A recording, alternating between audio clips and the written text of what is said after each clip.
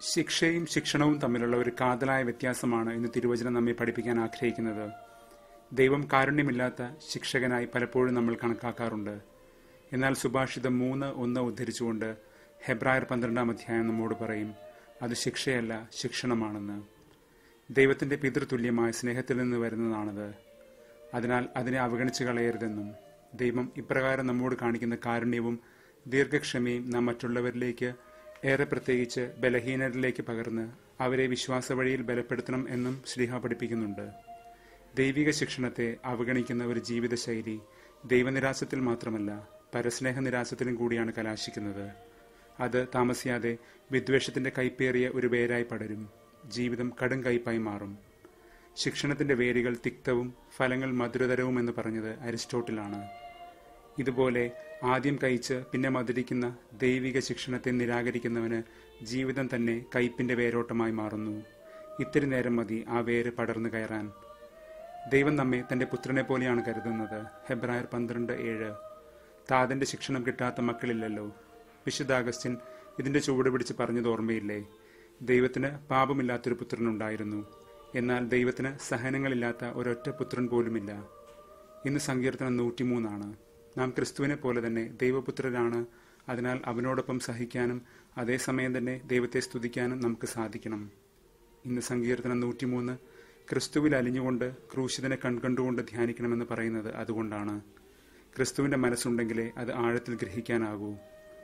മൂന്നാം നൂറ്റാണ്ടിലെ ഒരു താപസജ്ഞാനിയായിരുന്നു വിശുദ്ധ ജോൺ കാസിയൻ. അദ്ദേഹം പഠിപ്പിച്ചിരുന്നു വിശുദ്ധ ഗ്രന്ഥം നമുക്ക് നാല് അർത്ഥതലത്തിൽ വായിച്ചെടുക്കാനാകുമെന്ന്.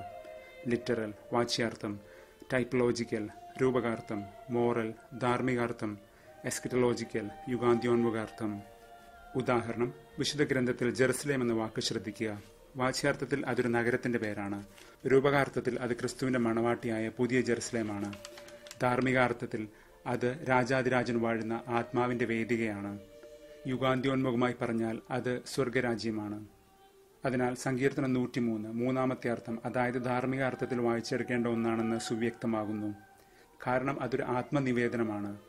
ആത്മാവ് ആത്മാവിനോട് പറയുന്നത് സുന്ദരമായ ഒരു ആത്മഗതം സോളിലോക്കി. പക്ഷെ ഇന്നലെ നാം ധ്യാനിച്ചതുപോലെ ഹൃദയത്തിന്റെ ആ മണിയറയിൽ പ്രിയനാഥനുമുണ്ട് നാം തനിച്ചല്ല. വിശുദ്ധ ജോൺ ഡമഷീൻ പറഞ്ഞിരുന്നല്ലോ സിയോനെ നിന്റെ മണിയറ ഒരുക്കാൻ. സങ്കീർത്തനം നൂറ്റിമൂന്ന് ഒരു പ്രേമകൂചനം പോലെ പാടുകയാണ്. എന്റെ ആത്മാവെ കർത്താവിനെ സ്തുതിക്കുക അവിടുന്ന് നൽകിയ അനുഗ്രഹമൊന്നും മറക്കരുത്. രക്ഷാകര ചരിത്രത്തിന്റെ മറന്നുകൂടാത്ത ഓർമ്മകളെക്കുറിച്ചാണ് പറയുന്നത്. പക്ഷേ അത് ദേശചരിതങ്ങളായിട്ടല്ല നമ്മിൽ ഓരോരുത്തരിലും അരങ്ങേറുന്ന ദൈവിക പരിവർത്തനങ്ങളായിട്ടാണ് നാം മനസ്സിലാക്കുന്നത്.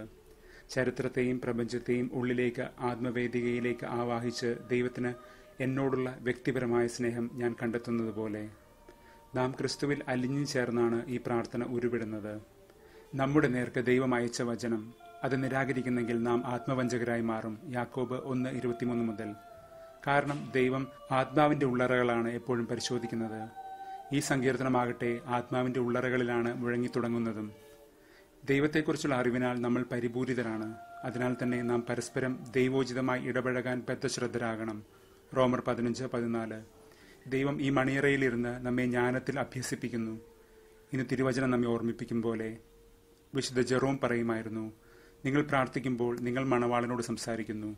നിങ്ങൾ തിരുവചനം വായിക്കുമ്പോഴാകട്ടെ അവൻ നിങ്ങളോട് സംസാരിക്കുന്നുവെന്ന് ഈ ആഴമായ ദൈവികാനുഭവത്തിലാണ് വചനം നമ്മെ കൊണ്ടെത്തിക്കുന്നത്. വിശുദ്ധ ഗ്രന്ഥത്തെ ദൈവാനുഭവത്തിന്റെ ഗ്രന്ഥമെന്ന് വിശുദ്ധ ബെർണാഡ് വിളിക്കുന്നത് അതുകൊണ്ടാണ്. സങ്കീർത്തകൻ പറയുന്നു ദൈവത്തിന്റെ ഔദാര്യങ്ങൾ മറക്കരുത്. അവൻ അതിക്രമങ്ങൾ ക്ഷമിക്കുന്നവനാണ്. ക്രിസ്തുവിലൂടെ വെളിപ്പെടുത്തപ്പെട്ട ക്ഷമയുടെ ഈ ദൈവിക കാരുണ്യം ഉൾക്കൊള്ളാതെ നമുക്ക് ദൈവത്തെ സ്നേഹിക്കാനാകില്ല.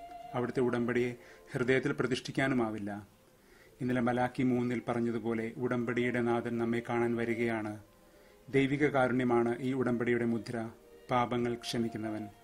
ജെറമ്യ മുപ്പത്തൊന്ന് മുപ്പത്തിനാല് ധ്യാനിച്ചുകൊണ്ട് ഹെബ്രാർക്ക് എഴുതി ലേഖനം എട്ടാം അധ്യായം പത്താം വാക്യം മുതൽ അത് വിവരിക്കുകയും ചെയ്യുന്നു. ലൂക്ക ഒന്ന് എഴുപത്തിയേഴിൽ സഖ്രിയ ഗീതി പോലെ രക്ഷയെക്കുറിച്ചുള്ള ജ്ഞാനം അവൻ നമുക്ക് പകർന്നു തന്നു. നമ്മുടെ പാപങ്ങൾ ക്ഷമിച്ചുകൊണ്ട് തന്നെ നാം പാപികളായിരിക്കെയാണ് ദൈവം ഈ രക്ഷാകര രുതിരം നമുക്ക് അയച്ചൊരിഞ്ഞത് റോമർ അഞ്ച് എട്ട് ഒന്ന് പത്രോസ് മൂന്ന് പതിനെട്ട് ഒന്ന് യോഹനൻ മൂന്ന് പതിനാറ്. അതാണ് നമ്മൾ ഒരിക്കലും മറക്കരുതാത്ത ദൈവത്തിന്റെ സ്നേഹത്തിന്റെ നിത്യവിസ്മയം. ദൈവത്തിന്റെ ഈ കാരുണ്യം മനസ്സിലാക്കാത്തവന് ദൈവത്തെ തന്നെ മനസ്സിലാക്കാൻ സാധിക്കില്ല. ഇന്ന് നാഥൻ സ്വദേശത്ത് അവഗണിക്കപ്പെടുന്നത് അതുകൊണ്ടാണ്. മർക്കോസ് ആറാം അധ്യായം. നാഥൻ അവരുടെ വിശ്വാസരാഹിത്യത്തിൽ ആശ്ചര്യം പൂണ്ടു എന്നാണ് ആ സുവിശേഷ ഭാഗം പറഞ്ഞു നിർത്തുന്നത്. ദൈവത്തിന്റെ വിശ്വസ്തതയിൽ ആശ്ചര്യം പൂണ്ട് നിൽക്കേണ്ടവരെ നോക്കി അവരുടെ അവിശ്വാസത്തിൽ ആശ്ചര്യം പൂണ്ട് ദൈവം നിൽക്കുന്നു.